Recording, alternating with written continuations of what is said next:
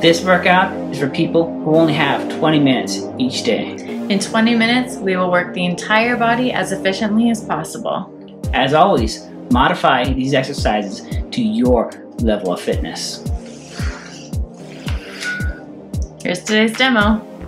The first exercise today is weighted one leg deadlift hops. You bend over and hinge at the hips.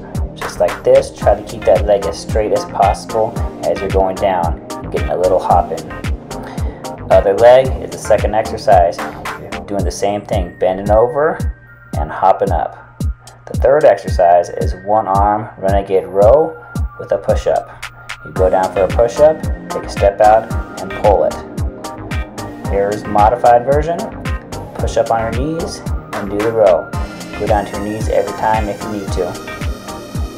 The next exercise is the same thing, but the other side. Using your left arm to pull, going down for your push-up, take a step out and pull it. Here's the modified version, doing the push-up on your knees, stepping to the side and pulling. And the last exercise today is called towel jumps. You don't have to use a towel, you can jump over anything. Front to back, back and forth.